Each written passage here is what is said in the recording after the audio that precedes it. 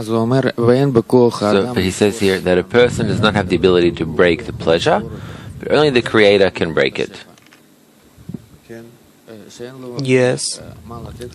That he has nothing else to give the created beings. What's this in the work, in the ten, in the group? That we must pray. The group must be unified.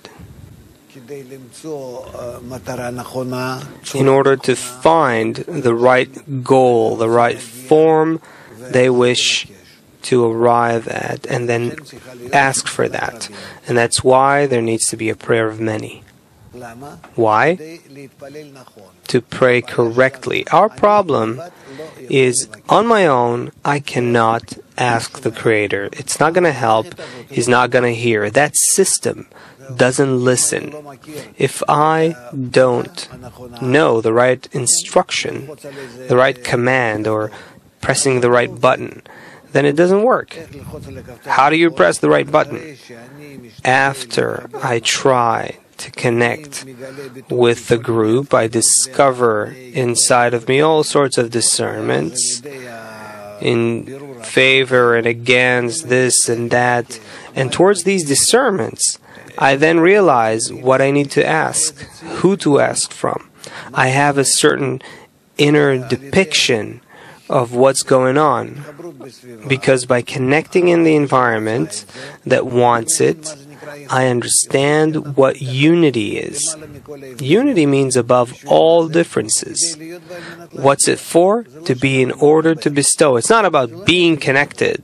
It's not a matter of connection. It's a matter of in order to bestow. If I try to be in order to bestow, and as a result of this effort, and also as a result of the impossibility of doing that, I need both ends. Two things aviyut, coarseness, and the um, uh, the opposite, the opposite force. Meaning, I'm in the group. I want to connect with them against my ego. I'm, I'm willing, I'm wanting, I'm somehow trying, but I can't. So I have a resisting force and an attracting force, a certain attracting force.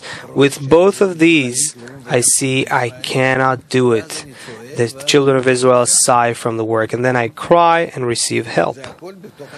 It's all inside the ten. Otherwise, how will we make these discernments? Only inside the ten, only with regard to the Creator. What's the Creator? The Creator is my ideal ten. When it's properly connected and there's light that fills it, shines in it, and its force is, is of pure bestowal. And that is the Creator in my eyes. The Creator is like we found read the definition today in tests. The upper degree towards me is called the Creator.